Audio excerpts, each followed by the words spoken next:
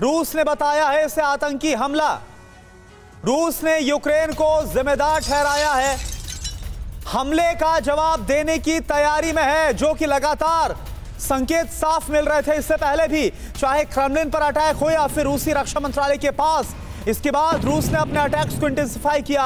और अब ये जो आज एक बार फिर से हमला हुआ है, इसे साफ़ तौर पर रूस ने बता दिया है आतंकी हमला।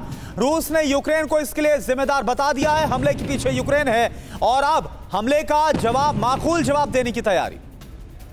बिल्कुल तो सीधे तौर पर रूस की तरफ़ से यूक्रेन को ठहरा दिया गया है। इस हमले के लिए जिम्मेदार और पूरे आसार भी इसी ओर इशारा करते हैं। हमारे साथ हमारे सहयोगी मनीष झा मौजूद हैं, जो लगातार इस बड़ी खबर पर पल पल की अपडेट मॉस्को से हमें दे रहे हैं। और कई खास मेहमान भी हमारे साथ मौजूद हैं। ग्रुप कैप्टन विनोद ऑगस्टीन साहब हमारे डिफेंस एक्सपर्ट हमारे साथ मौजूद हैं। मेजर जनरल एसपी सिन्हा साहब हमारे साथ स्टूडियो में ही मौजूद हैं। Colonel R S N Singh साहब geo defence and strategic expert हैं, वो हमारे साथ मौजूद हैं। और professor Amitabh Singh foreign expert हैं, विदेश मामलों के जानकार हैं, वो हमारे साथ जुड़ रहे हैं। सिन्हा साहब, लेकिन पहला बड़ा सवाल आपसे, सीधे तौर पर यह हमला कर यूक्रेन बताने की कोशिश क्या कर रहा है? क्योंकि एक नहीं, दो नहीं, तमाम बार अटैक किए गए और सीधे मॉस्को को निशाना बनाने की कोशिश की गई, राजधानी को निशाना बनाने की कोशिश की। लेकिन अब तो वो अपने मिशन में कामयाब होते हुए भी नज़र आ रहे ये जो ड्रोन अटैक हुआ है, समीर, ये कई प्रश्नों को जन्म देता है। पहली बात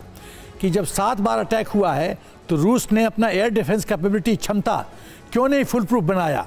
दूसरी बात कि अटैक उनके कोई भी ड्रोन जो है वो टेक ऑफ़ करता है और ट्रांजिट में होता है और अपने टारगेट पे पहुँचता है। तो एस फोर हंड्रेड की क्या उपयोगिता है? S hundred S four hundred क्यों नहीं इंटरफेयर इंटरफेयर किया? तीसरी बात कि ये यूक्रेन दिखा रहा है कि मॉस्को सेफ़ नहीं है। तो एयर डिफेंस कैपेबिलिटी तो मैंने कही दिया कि प्रश्न चिन्ह उठ रहे हैं और सात बार अटैक होने के बावजूद आप अपना काउंटर मेजर्स डेवलप नहीं किए हैं। तो ये तो बहुत यानी कि सर आप कह रहे हैं कि रूस का सिक्योरिटी फेलियर इससे माना जाएगा अगर मॉस्को में सात बार ड्रोन से हमला होता है। लेकिन प्रोफेसर अमिताभ एक बात बताइए लंबा वक्त हो गया है रूस यूक्रेन युद्ध को। यूक्रेन के शहर शहर तबाह है ये बात समझ में आ रही क्योंकि रूस ने उसके खिलाफ जंग छेड़ दी है। लेकिन मॉस्को रूस की राजधानी में अगर सात बार ड्रोन अटैक होता है सरकारी इमारत को निशाना बनाया जाता है ये तो बहुत बड़ी चुनौती है पुतिन के लिए। कैसे जवाब देंगे पुतिन इसका? बिल्कुल ये बहुत बड़ी चुनौती है और इसको अगर ध्यान से अगर आप देखें तो ये अटैक्स क्यों हो रहे हैं और कब शुरू हुए हैं? ये अटैक्स तब शुरू हो रहे हैं जब यूक्रेन अपने फ्रंट लाइन को भेदने में जी। असफल रहा है। दूसरी सबसे इंपॉर्टेंट बात है कि जो ये अटैक्स हो रहे हैं जैसा आप कह रहे हैं कि नेटो या अमेरिका द्वारा समर्थित है ऐसा भी नहीं है। क्योंकि नेटो और अमेरिका ने बहुत स्पष्ट शब्दों में कहा है कि हम किसी भी तरह से अपने हथियारों का इस्तेमाल अटैक करने में नहीं करेंगे।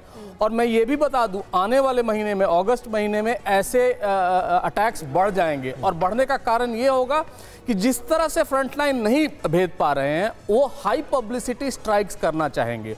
और उस हाई पब्लिसिटी स्ट्राइक्स का ये नमूना है और सिर्फ़ मॉस्को ही नहीं। अभी हमने देखा रोस्टोव रीजन में टैगन रॉक पे भी अटैक हुआ था मॉस्को पे हुआ। ये सेंट पीटर्सबर्ग में भी हो सकता है हो सकता है जितनी दूर तक जा सके सवाल ये सवाल ये कि मोटिव और इंटेंशन क्या जब इतना बड़ा युद्ध छिड़ा हुआ हो उसमें ऐसे हमले करके क्या जवाब देने की कोशिश और क्या दुनिया को बताने की कोशिश? विनोद ऑगस्टिन सर इन हमलों को कैसे देखते हैं? क्या क्या हमले इस तरह से करके यूक्रेन का जो युद्ध है, उसमें पार पा पाएँगे जेलेस्की, या फिर आपको लगता है कि सिर्फ़ मैसेजिंग है, इससे ज़्यादा इस, इन हमलों का कोई मतलब नहीं है?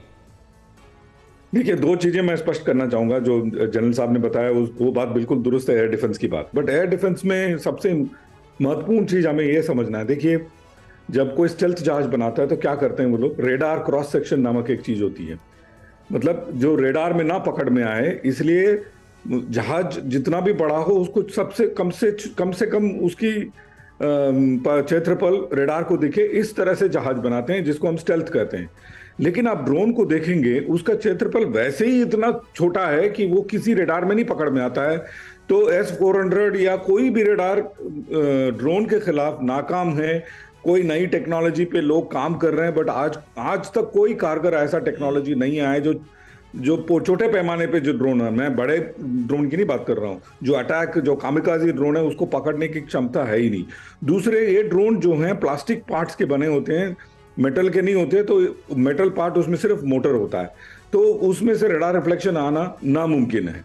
तो ये ड्रोन आज के तारीख में ये ड्रोन ने ये प्रूव कर दिया है कि टैंक नाकाम है, आपके बीएमपीज नाकाम है ये एयर डिफेंस भेद के आगे जाकर के मार मार मार सकता है।